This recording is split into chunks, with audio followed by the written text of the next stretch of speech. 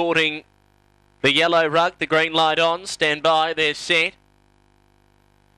And away. Anne's Moment step well, but going out hard. Ella Rhodes going to cross and lead. Anne's Moment driving to second now. She's threatening danger. Two behind the leader. They're out by three to tear away, babe. Then Ellen Varmin. About two and a half away to Lucky Brew. Well back now. Call me Daisy, VB me. And at the rear, time's up, Tom. The leader, Ella Road, being gobbled up, though, by Anne's Moment, who swept down the centre. And Anne's Moment, too good by a length at the finish to Ella Road. Third, tear away, babe. And fourth, a photo, Lucky Brew or Ellen Varmint. Clear then to Call Me Daisy, VB Me, and Time's Up Tom trailed the field home. The run 22.16 for the Versatile Anne's Moment.